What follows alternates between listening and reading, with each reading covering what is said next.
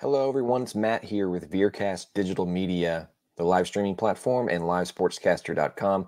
Today, I'm going to go over a quick tutorial on how you register for a free 14 day trial with Veercast. Very easy, just a click of a few buttons. You'll see behind me here, I've got the Veercast homepage.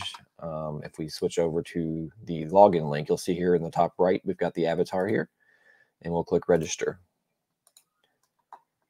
You can also click this banner at the top at any time. If you'd like to register, it'll take you directly to this page. Uh, what I like to do is just register through Google. It's just quick and easy. Just click on that. It's going to ask you if you want to be a viewer or a broadcaster. So in this instance, if you're going to be a viewer, it means you're either viewing a pay-per-view event or just viewing a broadcast and want to register to the platform and have no plans or anticipation of streaming at all on the platform. So you'll select viewer. Uh, otherwise, if you want to stream on the platform and you want that free 14 day trial, you want to click broadcaster and then continue. It'll pull up a list of your Google accounts. We'll pick the one we want to use. After a few seconds here, it will create our account.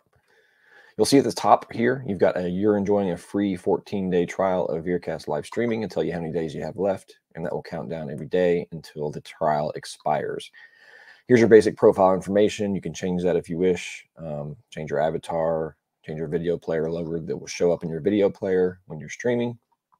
But if everything looks good to you, you can just click on this button here because you, before you do anything, you have to accept the terms. So you click there, it'll take you to the page where you want to accept the terms. Now you can choose whether you want to receive email notifications and site news and new content on the platform.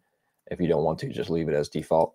Hit submit and then we are fully registered. So we're back to our profile page. And now if we go over to clips, which is how we create our broadcasts, you'll see that uh, we still have that banner up there, reminder of your 14 day trial. We select new. And then if we're going to stream live, we'll click stream live here. We have three options here with the trial. You can bring your own CDN uh, with HLS playback. So if you have an M3 U8 uh, URL, you can use that uh, option there. But the whole purpose of the platform is to use Veercast streaming, and that's where this next two options come in. We got Stream Live with Archive, which means that'll give you everything that we've got. Um, you know, you get adaptive bitrate, you get the countdown clock, you get simulcasting to Facebook, YouTube, any other platform. Uh, the, the archive will immediately be available after the stream, unlimited streaming, unlimited bandwidth, unlimited viewers, um, pretty much unlimited everything we give you with this platform. Um, and then we also have the option for to stream live with low latency, and that's not going to have an archive to it, but it will be as little as two seconds. Uh, that uses our utilization integration with Amazon, Amazon IVS. So you use our platform um, to stream with that. So that's as simple as it goes. Um, once you click on one of these options here, you can go through and create your titles, but that's a different tutorial.